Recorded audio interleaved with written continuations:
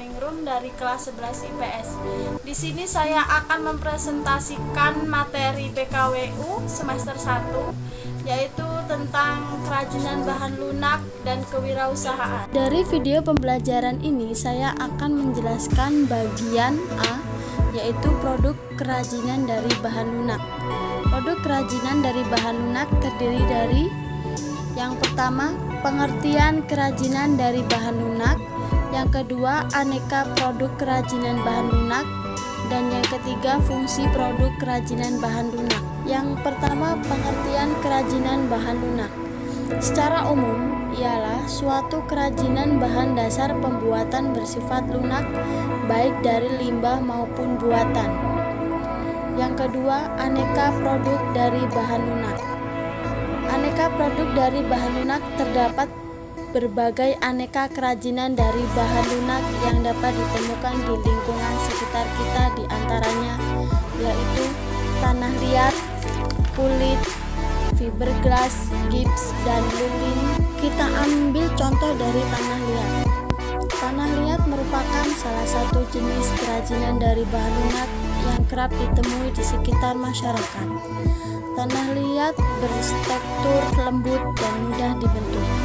Contoh kerajinan dari tanah liat yaitu gelas, vas bunga, piring guci, dan tembikar. Contoh yang kedua yaitu kulit. Kulit berasal dari kulit hewan yang sudah tersamak sehingga mudah dibentuk. Namun kulit tidak tahan air apabila terkena air, struktur kulit akan lunak. Biasanya kulit digunakan sebagai bahan utama produk. Contoh yang ketiga yaitu fiberglass. Fiberglass merupakan serat gelas berupa kaca cair yang ditarik menjadi serat tipis.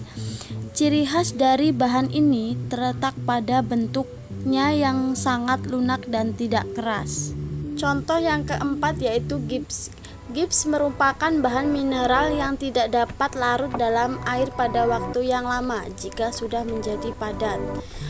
Contoh yang kelima yaitu lilin dan parafin. Lilin dan parafin berwujud padat, namun jika dipanaskan akan mencair.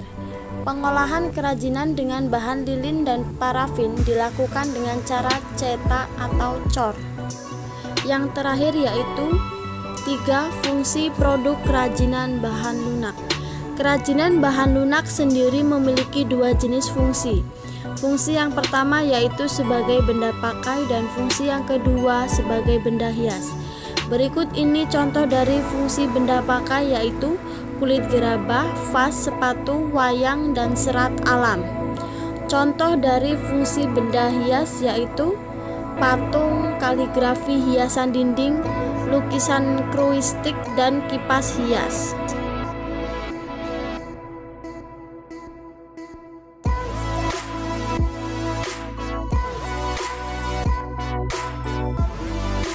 Baik, itulah beberapa penjelasan video dari saya tentang materi kerajinan bahan lunak dan kewirausahaan.